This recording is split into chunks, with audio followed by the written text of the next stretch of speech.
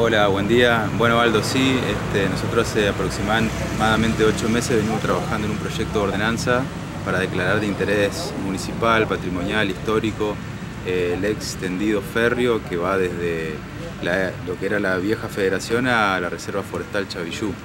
Eh, a la par fuimos desarrollando un proyecto este, de un sendero sustentable este, con miras a ser, digamos, transitado por los ciudadanos federaenses y también por turistas. Eh, en eso venimos trabajando hace un tiempo, desde el Consejo con el concejal Delio Benítez y también este, a la par eh, del Ejecutivo. Y en esta última etapa se sumaron profesionales, se sumó Tierra a la Vista, que es un taller, está compuesto por Evangelina Puridori y Aviadad, quienes fueron quienes dieron la última vuelta de rosca digamos, al proyecto y lo pudimos cerrar y fue presentado ayer en el Consejo Deliberante, así que estamos muy, muy contentos. Este, es un proyecto turístico, pero también es ambiental, es cultural, es histórico, así que eh, está por desarrollarse. ¿Cuál es, eh, sería, en potencial hablando, ya que vos lo mencionás, el aprovechamiento de este recurso?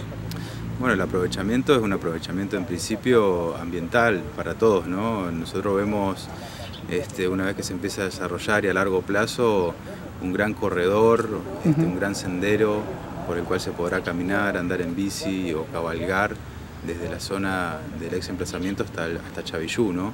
Eh, hoy se ha formado prácticamente en algunos lugares una selva en galería, este, también la zona de Colonia del Bizcocho tiene una, una historia muy rica, este, del ferrocarril y de los colonos, hay capillas, quedan algunos puentes o alcantarillas de ferrocarril, eh, hay también muchos productores que, están cerca del sendero a los cuales queremos incorporar a la economía este, turística.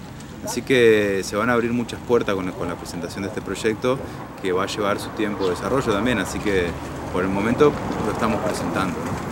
¿Para cuándo ya tendría vida este proyecto?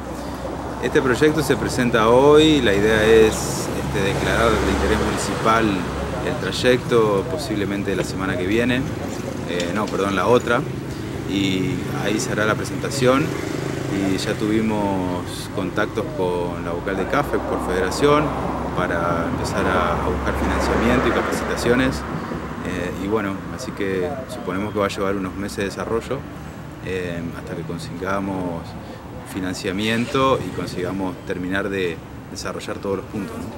¿Cómo se dieron los procesos para alcanzar estas instancias juntos al otro edil Benítez? Bueno, eh, siempre hubo voluntad del Ejecutivo en recuperar el trazado de la vía que está abandonado. No está abandonado, este, está en desuso y desactivado.